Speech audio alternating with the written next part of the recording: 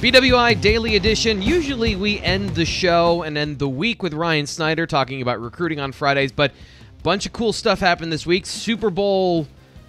Nate, I don't know how to do numerals. What's the Super Bowl this year? What's what's 54? It is uh L V I. Yeah. Yeah. I 56. I 56. LVI. Okay. That's what I I, I- was Literally the only reason I know is because I watched the I mean painfully uh NA, NFL honors award show right. last night uh, Right. to see if Micah Parsons would win Defensive Player of the Year. He didn't, but he did win Defensive Rookie of the Year as a unanimous selection. Yeah. And I overlooked it. Keegan Michael Key, Penn State alum, Yeah. was the host. So, you know, it, it was mostly a waste of my time, but yeah, award shows, Pro Bowls. I, I don't necessarily tur- tune in for those things, although uh, I got the majority of what I needed from you and then from Twitter this morning with Micah's acceptance speech, which was heartfelt, sincere, and well said. So, yeah, but good for him. the point about Super Bowl 56 is we're getting a preview of the game from Solomon Wilcots. He's on Radio Row this week. He's a former NFL safety. Bengals great was the starting safety in the Super Bowl the last time they were there in 1989. And he's going to join us later in the show to give us a preview of the game and talk about Penn State safety Nick Scott, who's been on a roll in the postseason. So stay tuned for that. But Every week we get your mailbag questions in, and because we didn't do it yesterday, I didn't want to forget about you. So that's what we're doing today with Nate. We're answering the mailbag before we get to Solomon Wilcots. So Nate, are you ready? I, I don't know, but I'm going to try. Okay. Well, let's get let's dive right into it with the questions, and we'll find out if you're gonna sink or swim.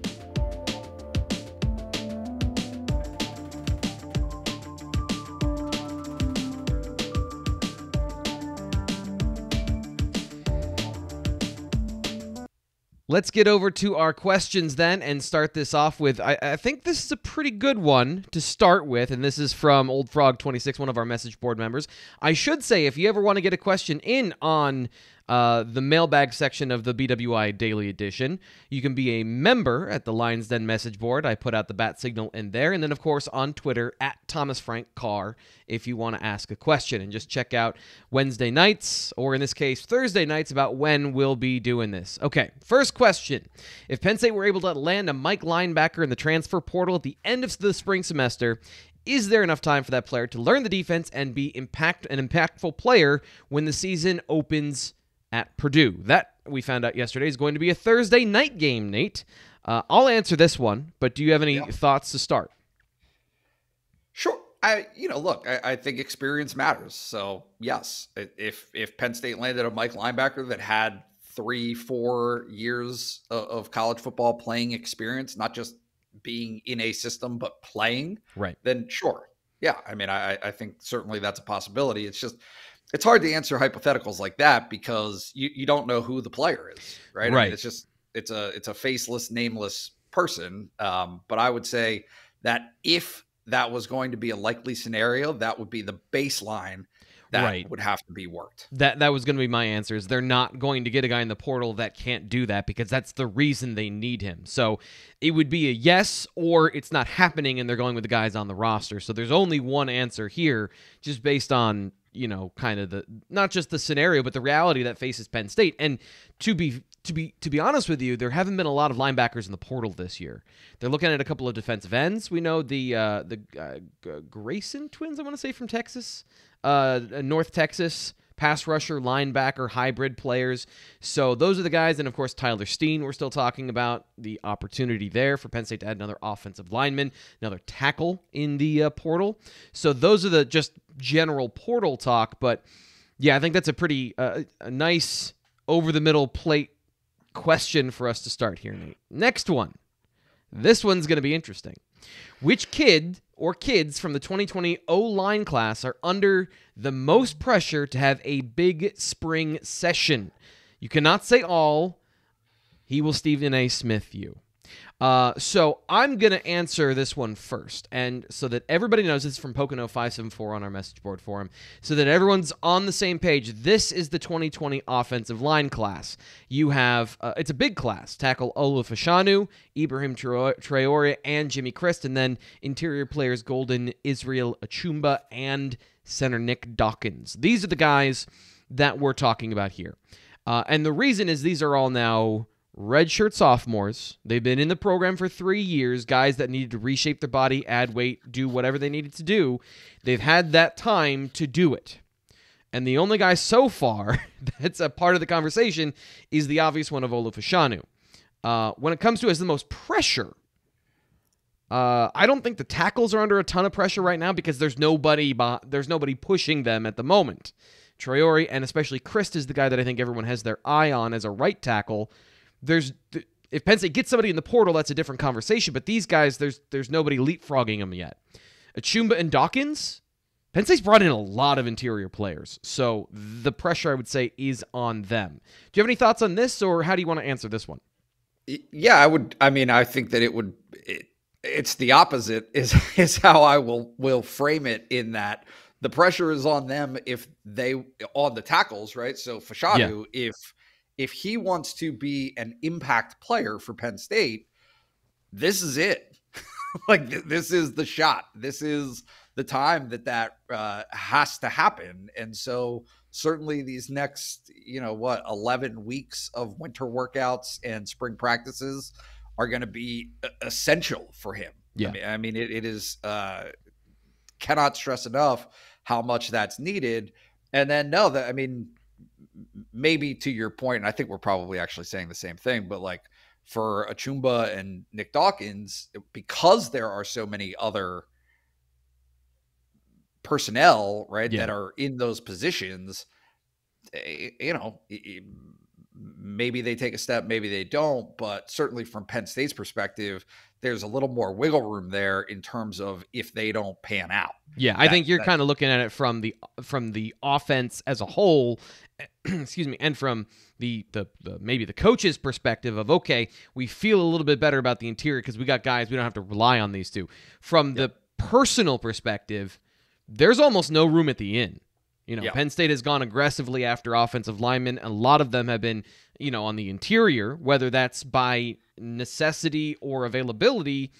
That's kind of the conversation we can have about the tackles in general, which we've had all off season. But yeah, I, I think that it's kind of the same thing, but looking at it from two different angles, where uh, Jimmy Christ still has some time to develop because there hasn't been anybody that's came in and been uh, you know pushed him further down the depth chart as of yet.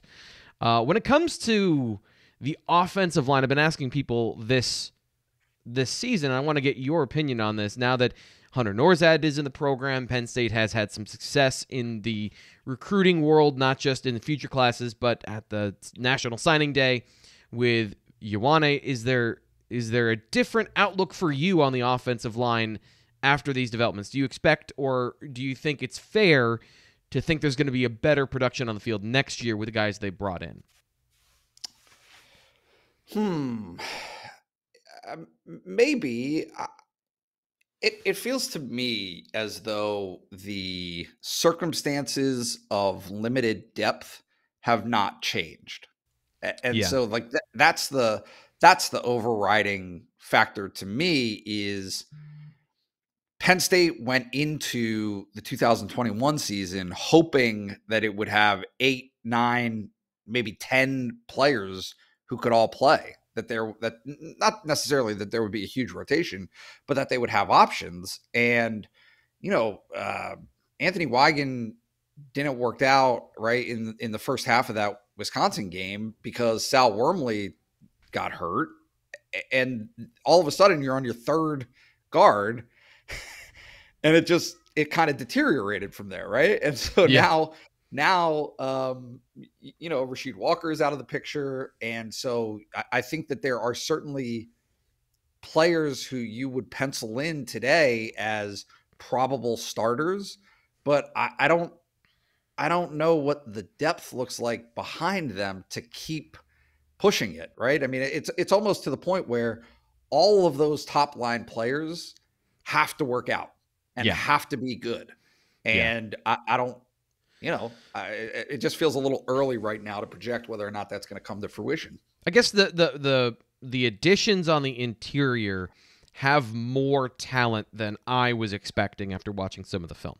And with that in mind, you do have maybe two or three deep there of players that that are Big Ten caliber, depending on where Salim Wormley comes back in his development process from his injury, from his rehab process, which means a Landon Tengwall, while you want him starting at right guard or left guard, if somebody gets injured or there's some sort of problem at the perimeter, he showed that he's more than up to the task of playing that tackle position. So I guess I'm looking at the depth and flexibility of the interior and what that does for you on the perimeter. It's not elite, but I, I just I see more combinations and possibilities for success going forward. So I guess that's a kind of how I viewed this with with the additions and the, and the wins they've gotten recently. Going on to one of our famous uh, Barnyak twins, who I did find out after last week's mailbag are in fact twins. So I was not wrong. They are in fact twins and both asked a question this week. Andrew asked a question this week on Twitter. Do you anticipate Penn State hiring another additional analyst or staff member with Franklin's push for increasing staff overall, like other big time programs? Any ideas uh, about who that might be? Maybe some other Penn State greats. Maybe uh, bring in I don't know Ki-Jana Carter, uh, Bobby Engram. Although he's he's with Wisconsin now. Yeah, What's your thought? I think he's gonna. T- I think he's gonna take that OC. OC, right? Yep, I think. offensive coordin- offensive coordinator at Wisconsin. So just in general, I think we'll we'll address the first half of this question. Do you think that they're going to have additions to the staff what uh, past what they've done already? Y- yes, they always show up. I mean, there's just so much that happens outside of the view of right the public and the media. Like, I- mean, Yeah. the Ken Whisenhunt thing to me was so fascinating last year. Uh, you know, he was just there. like, I mean, literally, somebody asked me in September, like, "Hey, have you noticed uh, a, former famous person uh, kind of roaming around on Penn State sidelines?" And I was like, "No, like, what are you talking about?" It's like, "Oh no, hey." Ken Whisenhunt is one of the analysts, and Yeah, there's like a running joke uh, as to whether or not anybody is going to ever notice the fact that a former head coach in the NFL is currently, you know, kind of He's helping out the- with Penn State staff. he's not even the the first famous former NFL coach that's been on the staff. Uh, there's been other uh, offensive coordinators uh, previously too that I think were were on the staff in the last couple of years. Yeah, the- although the names are escaping me at the moment. Yeah, me too. The um, the his son was a quarterback at IUP, and so he ended up spending some time here and just just helping out, pitching in. I mean, I think that the the distinction that you're seeing with the three hires that happened this week is rather than just picking up um I, this is not the right word but i'm going to say it anyway like some stragglers right Some- people who are in in Gu- between jobs guys who are in Like the limbo of their career too. You know, Whisenhunt, Yeah. a former NFL head coach that has apparently ran out his time in the NFL, looking for opportunities to be a part of football in a, in a big way.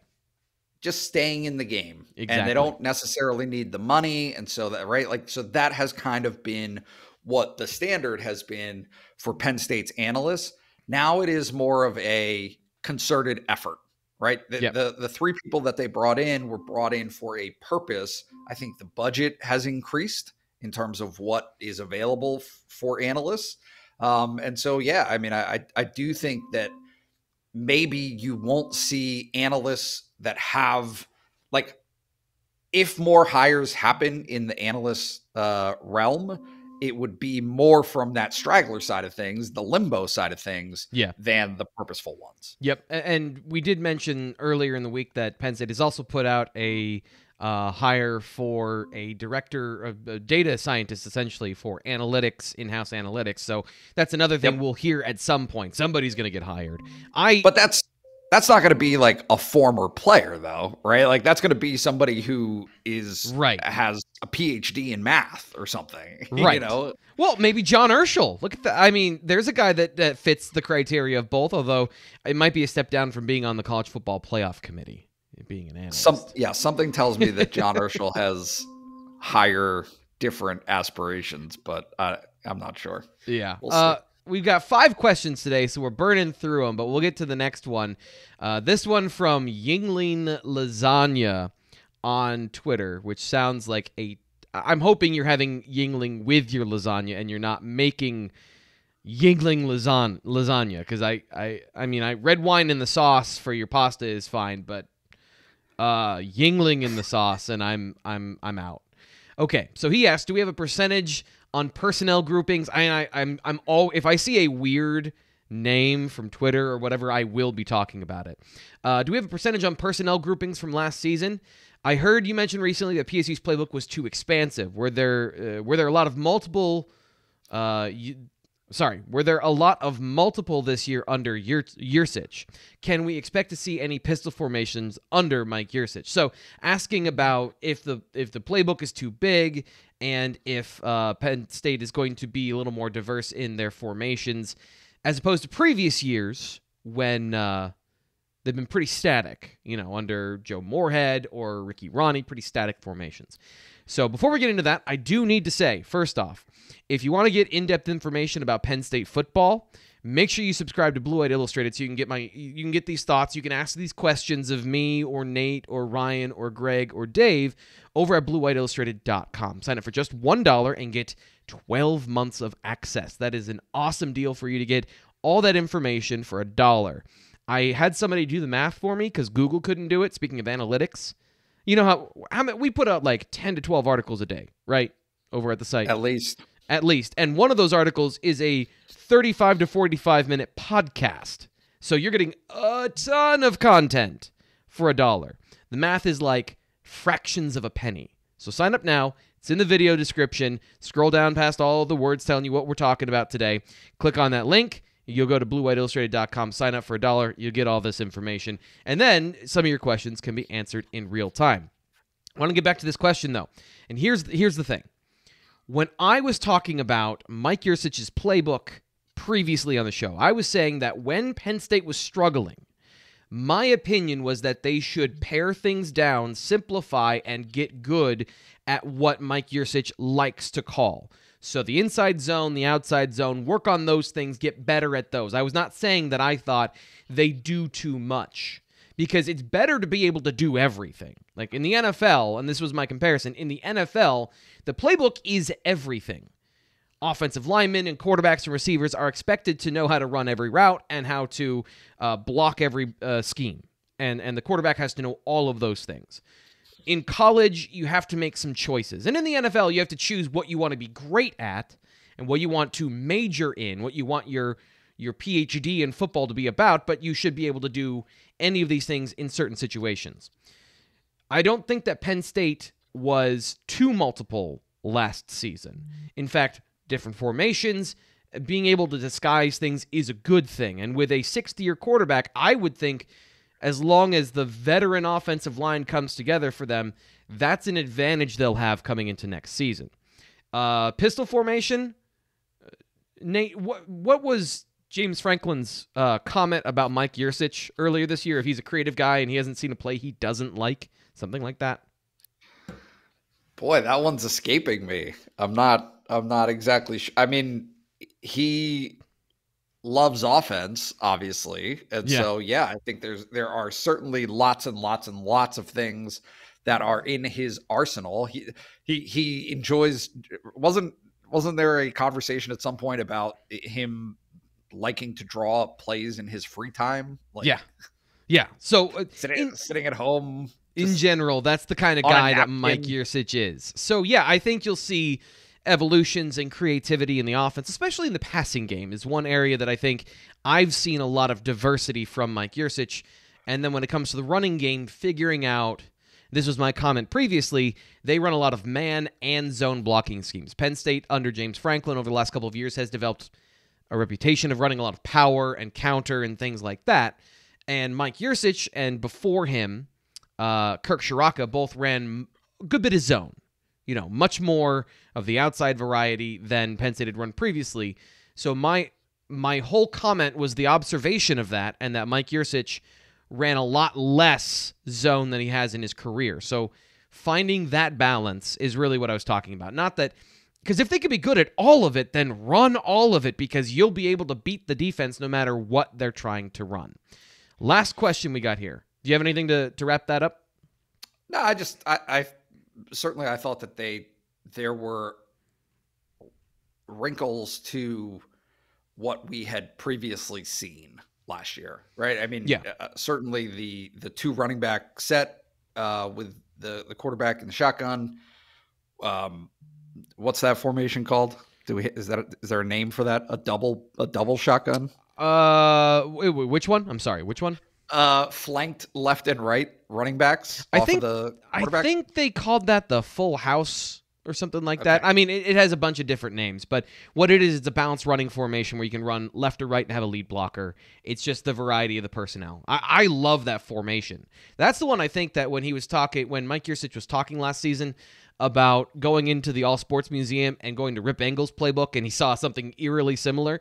That is kind of a throwback formation. So I think that's uh, that's that's what you know. In general, that's the creativity you're getting with Mike Yurcich. Yeah, Concur. Let's move on to our last question. With the offseason comes a heightened look at strength and conditioning program that has been one of the best in the country. From what you can gather, how has the move from Galt to Losey gone over? And are there other strength and conditioning coach conditioning coaches that are sought after? Uh, I'm I'm gonna let you handle this one. I'm not uh, terribly familiar with that last part, but as far as what I've seen, and we haven't been able to you know, go to the lifting sessions and, and the max out tests yet. That comes later in the month. It seems like everything is operating the exact same way it did previously under Galt. Is that fair? Yeah, I mean, I think that the purpose of making an internal hire and specifically a person who had worked alongside Galt for the previous 11 years was to not miss a beat. Yeah. Right. Agreed. I mean, uh, maybe could Penn State have looked outside and tried to find someone else um, you know, or or like targeted someone with a reputation as the best in the country, maybe. But my guess is, and again, this is like kind of purely speculation. They probably think that that Chuck is the best, right? Like I mean, right. that that whole that whole uh, sequence of events suggests pretty strongly that they think extremely highly of him and what his capabilities are. Yeah. Obviously, as an offshoot of a guy in Dwight Galt who they also thought the world of. So, um, yeah, no, I mean, I think I think that you, you always see, um, you know, in the preseason and uh, the different documentary, or like whenever whenever somebody's program has kind of a national spotlight on it, like the um, the Hard Knocks series for college football that happened a few years ago. Like the strength coach often takes a center stage because yeah. these are nut jobs. And also, guys. they have the most contact with the players because there's not a restriction on the number of hours they're allowed to interact in the off season. So they're with they're, the players all the time. Yeah, they're high energy like I, I think they want to be described by their players as a little bit nutty, right? Like yeah. a little bit crazy. Uh, yeah. And so to lift that yeah, much no, weight, I, you've got to be. If you're the if you're the guy getting everyone hyped to to bench 500 pounds or 400 pounds, that is not a normal activity for most people. Yeah. Yeah. Yeah. No. So they they uh they got the guy that they wanted there, and you know I think I think uh, all signs have been that things have gone well from that end. I would agree, and I would say that the the show has gone well. That's a good mailbag. Great questions. Thank you again for everyone that submitted those from both our Lions Den message forum and, of course, from Twitter. If you want to get your questions on the air, the best way is to, to subscribe to Blue White Illustrated and to sign up for a dollar. Go into the message board forum and uh, ask a question there. And, of course, if you're watching this show and you've gone through the mailbag, you liked the video. And I got even more fun stuff coming up next with Solomon Wilcots. So make sure you subscribe here on the Blue White Illustrated YouTube channel. Hit the subscribe button and like the video. Super helpful. Send us into the weekend on a good note. Uh, Ryan, uh, Ryan, geez, I'm so used to this being Friday and being Ryan. Nate, any last thoughts before we uh, move on today? That's all. I still have a toddler at my house, so if you happen to hear There she is. Uh, any any exuberant, gleeful outburst that was her. No, thanks for having me. I appreciate it. All right. Well, uh, we'll get into our interview now with Solomon Wilcots about Super Bowl 56 right here on the Blue White Illustrated Daily Edition. BWI Daily Edition Super Bowl preview. Super excited. Not only are we getting to go to Radio Row today, but we're also getting to talk to uh, one of my favorite broadcasters, Solomon Wilcots, uh, who is, uh, you've known him for years on CBS and Sirius XM and a bunch of different places, Emmy award winning broadcaster and was the starting safety for the Bengals in Super Bowl 23. Four tackles in the game, held Jerry Rice and Joe Montana to just 20 points in that game. Uh, welcome. Appreciate you coming on the show today. Thomas, hey, thanks for having us both on the show. We're glad to be with you. Yeah, and of course, uh, we have Wasak Al Sadiq, Dr. Wasak Al Sadiq here uh, to talk about BioHeart heart rate monitor. We'll get to that in just a little bit. But Penn State fans uh, always wanted to see former Nittany Lions doing well in the NFL, and a guy who has had a long road to where he is right now. Former Penn State safety Nick Scott has had a very good playoff so far. One reception allowed for two yards, two pass breakups, and an interception uh, in the playoff so far, according to PFF take us through what you know about his game and how he's translated so well into the Rams defense. Yeah, you remember last year, John Johnson was uh, the starter here, and then you know Jordan Fuller earlier in the year, and Nick has kind of worked his way in to the rotation, right? Kind of um, getting spot duty, and then due to injuries, um, been given an opportunity to become a starter. Now, I'm gonna tell you right now, I think he had already earned the opportunity, but you only can play so many guys at a time. So, but they were making sure that they were able to get Nick Scott on the field. And then when the injury occurred to Jordan Fuller, of course, now he's able to play more full time. And the more you see him and the more he plays, the more plays he's able to make. Finished the season with three interceptions. You already gave the numbers for what he's done in the postseason.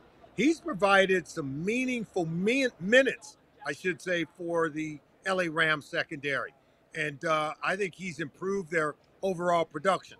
There are some other areas and elements of the secondary where I do have my concerns. Okay, but when it comes to Nick Scott, I'm not concerned. When it comes to Jalen Ramsey, I'm not concerned. When it comes to Eric Weddle, I'm not concerned. Um, so he's been, an, I think, a, a much needed addition to their secondary. Uh, Eric Weddle walking off the street to play in the playoffs right? and now in the Super Bowl. I just I, I was just gonna I was gonna mention that, but I gotta ask, how crazy is that to be able to do? It's a testament to I think uh, how smart he is as a player. You know, the late great Vince Lombardi said that 90% of the game is played from the neck up. We all have our physical gifts, our physical tools, but the ability to understand the game, the X's and O's, it allows you to play uh, faster and see things and anticipate at a much higher rate than those players who don't put the time in, don't understand formations, down and distance, personnel grouping. That's where Eric Weddle has always really been good. He works as well with the coaching staff as I've ever seen any player, right? Average talent, but have tremendous ability from the neck up, and then the attention and time that he puts in when it comes to studying the game plan and communicating it, right? To yeah. the other defensive backs back there uh, I think that's where he brings more to the table than most defensive backs in the NFL. Do you see similar things from Nick Scott as far as the way he plays the game? Yeah, and he's a young player, but he's very smart, and he also has versatility to his game, not just as a safety, but as a nickel dime defender. Um, he's really good in man to man coverage against tight ends or maybe backs coming out of the backfield. And I think he's, you know, a phenomenal player in terms of his uh, what he's learning, right, from guys like Jalen Ramsey and Eric Weddle. And those guys I know for a fact love working with younger players. And so you can tell he's putting the time in because he's making more plays. His anticipation, okay, pre snap is where I think he's leveraging his talents uh, to be a better player. He's just only going to get better the more that he sees the field. Uh, not many shows give you the in-depth coverage of the Rams defense by starting with Nick Scott at safety rather than starting up front with Aaron Donald or you know Von Miller. Uh, but really, you know that whole defense and the way that that secondary works with their a lot of two high safety shells as we're discussing those two players at that position. A lot of the engine is driven by the guys up front, right? Oh, absolutely. It starts with Aaron Donald, a guy that you can't even block him half the time. Uh, he, he's hard to even double team. And you have to commit resources if you are going to neutralize Aaron Donald at the line of scrimmage and a lot, not allow him penetration into your backfield. And the more resources you allocate toward him, now you're putting yourself in jeopardy for Von Miller off the edge to just destroy any uh, offensive tackles trying to block him one on one. Leonard Floyd can win one on one battles as well. And so it all starts with Aaron Donald in the middle. Um, this is going to be the best defensive front I think the Cincinnati Bengals have seen all season long. And that's saying a lot. Yeah, you mentioned earlier this week on a different radio hit uh, about the quarterback being the most dependent position on the field when it comes to football. So, with that in mind and the offensive line, you just mentioned that. How do you see that matchup between the Rams' defensive line and the Bengals' offensive line? Well, I, I see the Bengals' offensive line having their work cut out for them. Not a great day. I mean, they, you know, look, if they and they didn't. I don't think they gave up all nine of the sacks that occurred in that Titans game. I think Joe Burrow would tell you he could have got rid of the ball um, to avoid a few. And look, his job was really to not turn the ball over in those moments, not panic.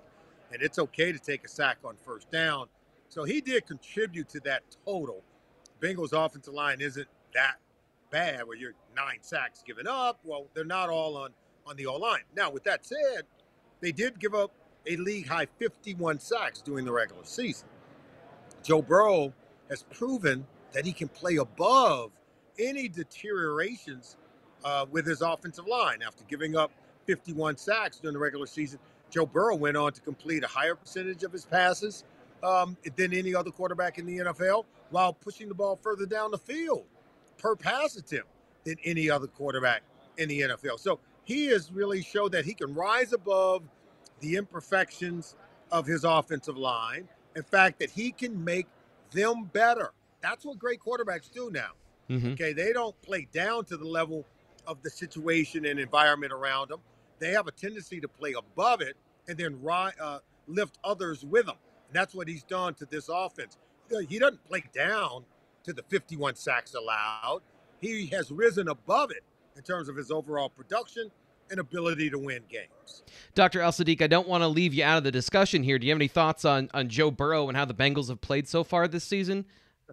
you know, all I can say is it's it's kind of amazing to see uh, what he's done two years uh, into and and getting into the Super Bowl. You know, I think everybody up until now were thinking that Bengals uh, were a long shot, but if you actually look at what they've done in each game when they went into Tennessee Titans and taking the interception, that was like snatching the wind uh, from the from the yeah. Titans. Um, you know, I think that they deserve to be here, and you know, like Solomon was saying nobody was saying that the Rams is an unbeatable team. Uh, and the fact that the Titans beat the Rams and now the Bengals are with the Rams, I think it's going to be an interesting game, and it's going to be given to whoever can play the most, uh, uh, you know, um, overall uh, distributed and balanced game.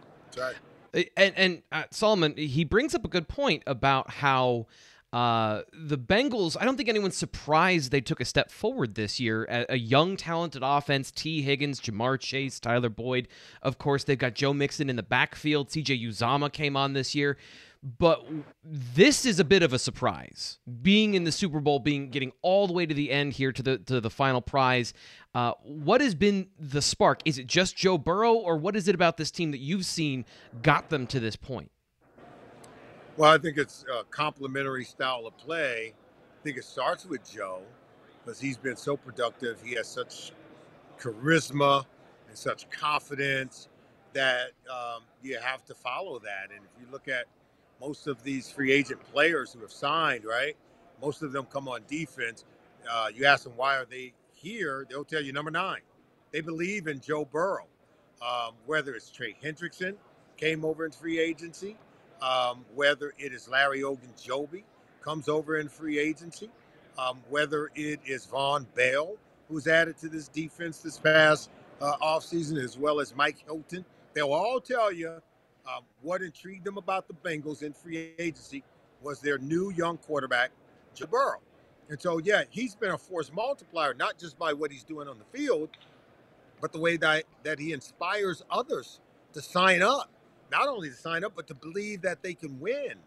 Yeah. And so it is in that way that he's a force multiplier. But listen, it's a it's a defense that can pressure your quarterback as well. We know about the Rams pass rush, but Trey Hendrickson, Sam Hubbard, and their interior defensive linemen make a lot of plays, right? Have four yeah. sacks in the FC title game against Patrick Mahomes, and they've ended every single postseason game with an interception on defense. Never forget that. They know how to close out games. So one minute it's the defense getting interceptions and getting sacks to close out games. Another minute it's Joe Mixon in the run game closing it out. Another minute it's Joe Burrow in the passing game. Another minute it's special teams. It's a rookie kicker by the name of Evan McPherson, who's had four field goals made in each of their three postseason games so far this year, averaging 12 points per game. So pick your poison. That's why that's why many of us we believe the Bengals are going to win, and we're not even shy about saying it. They they have certainly felt like a team not just on the rise, but a, wave coming to the Super Bowl here. Uh, former NFL safety, former Cincinnati Bengal Solomon Wilcots on the BWI Daily Edition. This has got to be a special week for you, right? Oh, absolutely, yeah. When your former team makes it, and uh, they've struggled for so many years, right? Even though they've come close with Carson Palmer and and Andy Dalton, um, seven trips to the postseason um, under you know, um, their former head coach, Marvin Lewis, but still couldn't win once they got there. And, and then they go out and get Zac Taylor. And, right, uh, Zac Taylor had only won six games in the previous two years.